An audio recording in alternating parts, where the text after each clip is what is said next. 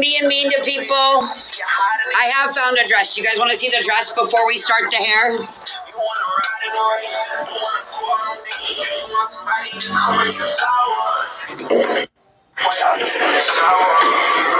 Okay. Then it's my bad and I was misinformed. I love you. I moved it in here so Devin can't see it. Hold on.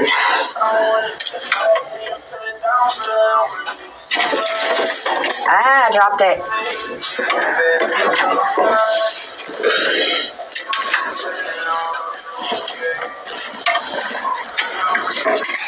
If I can stop throwing it around, I'd be better off, y'all.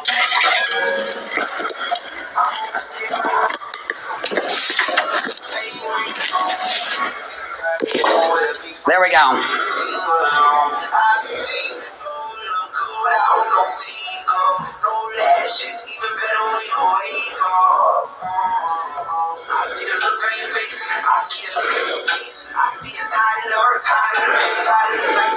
And then I've got this lace to go over it as a shawl.